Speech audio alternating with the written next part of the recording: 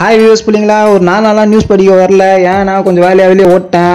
இப்போ இனி என்ன நியூஸ்லாம் நம்ம பார்க்க போகிறோம்னு சொல்லிட்டு நியூஸ் படிக்கிற ஷோவில் பார்க்கலாம். ஓகே ஃபஸ்ட்டு நியூஸ் பார்த்தீங்கன்னா சபரிமலையில் நட இன்னைக்கு திறந்துட்டாங்க அப்படின்னு சொல்லியிருக்கிறாங்க. ஸோ இதுக்கு என்ன பண்ணியிருக்கிறாங்கன்னா சென்னை திருச்சி மதுரையில் இருந்தெல்லாம் பஸ்ஸு ஸ்பெஷல் பஸ் விட்டுருக்குறாங்களோ அந்த டிக்கெட்லாம் ஆன்லைனில் இது புக் பண்ணுறதுக்கு ஓப்பன் பண்ணிட்டாங்க. ஸோ எல்லாரும் வந்து கரெக்டாக பண்ணிக்கோங்க. அத்த நியூஸ் பார்த்தீங்கன்னா நடிகர் சங்க தேர்தல் வழக்கு வந்து ஹைகோர்ட்டில் இப்போ கொஞ்சம் இது கொஞ்சம் நாளைக்கு தள்ளி வச்சிருக்கிறாங்க. ஏன் எது இதுன்னு கேட்டிங்கன்னா ஏதோ சம்திங் இஷ்யூஸ் ஆகிருக்குது அங்கே நடிகர் சங்கத்தில். ஸோ அதனால் வந்து இப்போ கொஞ்சம் தள்ளி வச்சிருக்கிறாங்க. ஹைகோர்ட்டில் இதில் சொல்லியிருக்கிறாங்க. ஸோ அப்படியே வந்து அத்தனை கீழே வந்து பார்த்தீங்கன்னா கிரிக்கெட் கிரிக்கெட்டில் நேற்று மயக் அகர்வால் வந்து ரெண்டு செஞ்சுரி அடிச்சிருக்கிறாரு. என்னடா இப்படி எது டபுள் செஞ்சுரியாவே எல்லாருமே அடிப்பாங்களா? இந்தியாவில் மட்டும்தான் இந்த மாதிரி அடிக்கிறாங்கன்னு சொல்லி பார்த்தீங்கன்னா இந்தியாவில் மட்டும் இல்லைங்க வெளிநாட்டில் கூட அடிக்கிறாங்க.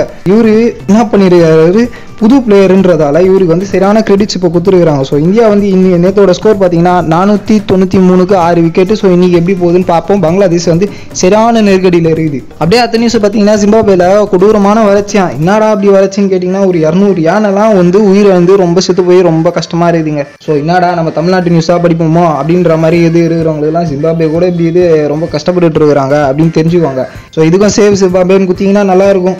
அப்படியே அத்த நியூஸ் ஏதோ ஒரு புது காம்போ ஒருத்தவங்க வந்துருக்காங்க யாரா அந்த காம்போன்னு பார்த்தீங்கன்னா அண்ணியும் மச்சனனும் நச்சிருக்கிறாங்க யாரா அந்த அண்ணி யாரா அந்த மச்சனன்னு கேட்டிங்கன்னா கார்த்திக்கு ஜோதிகா. இவங்க கூட சத்யராஜும் காம்போ வச்சிருக்கிறாரு. என்ன படம்டான்னு கேட்டிங்கன்னா தம்பி அத்த மாதம் டிசம்பர் வந்து படம் ரிலீஸ் ஆகும் அப்படின்ற மாதிரி ஒரு போஸ்டர் ஒன்று வந்துருக்குது. அந்த போஸ்டர் பார்த்துக்கோங்க அப்புறம் பார்த்தீங்கன்னா பெட்ரோல் ரேட்டு இன்னைக்கு பெட்ரோல் ரேட்டு ஒரு லிட்டர் வந்து எழுபத்தாயிரம் ரூபாய் ஐம்பத்தி மூணு பைசா. டீசல் ரேட்டு பார்த்தீங்கன்னா அறுபத்தொம்பது ரூபா ஐம்பத்தி நாலு பைசா. அப்படியே கோல்டு ரேட் பார்த்தீங்கன்னா ஒரு கிராம் வந்து மூணாயிரத்தி அறுநூத்தி முப்பத்தெட்டு ரூபாய். சில்வர் பார்த்தீங்கன்னா ஒரு கிராம் வந்து நாற்பத்தி ஏழு ரூபாய் எழுபது பைசாங்க ஸோ இத்தோட நியூஸ்லாம் வரி இனி நியூஸ் படிக்கிற ஷோல இருந்து நான் கிளம்புறேன். வித் மீ மிஸ்டர் ஆக்ஸ் நீங்க என்ன பண்ணணும்னா லைக் கமெண்ட் ஷேர் இதெல்லாம் பண்ணிட்டு நவரசப்பட்ட சேனலுக்கு மறக்காம சப்ஸ்கிரைப் பண்ணிடுங்க. ஸோ நான் கிளம்புறேன். Ta-ta by by